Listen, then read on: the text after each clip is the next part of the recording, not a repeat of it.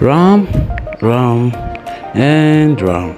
Now you must be wondering what RAM does on your PC. Let me break it down real quick. Of course, this is not the RAM that I'm talking about, but this now RAM stands for random access memory.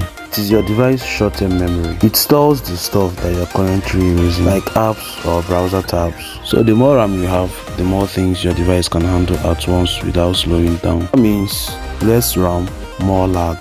So if your system freezes or app keep closing, it might be time for a RAM upgrade or cleanup.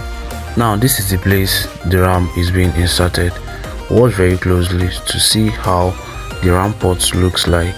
Each laptop is designed to support a specific RAM plus type plus the speed so you must check before you do a RAM upgrade. So, so you must check the laptop RAM type, the maximum RAM capacity it supports, the number of RAM slots because some laptops comes with just one slot like the one you see on the video comes with two slots. So for the laptop RAM I mean whether it's DDR2 whether it's DDR4, whether it's DDR5, whether it's DDR3. The capacity I mean whether it can take up to 8 or 16 GB RAM at a stretch because not all laptops can do that.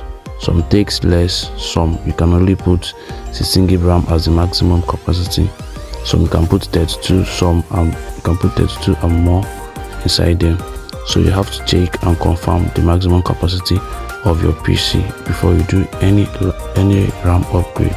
Your laptop motherboard limits the maximum speed and size of RAM it can use. I hope this helped you understand how RAM works and what's best for your laptop. If you found this useful, don't forget to like, share and subscribe for more tech tips from Alvin's Gadgets. See you on the next one. Bye bye.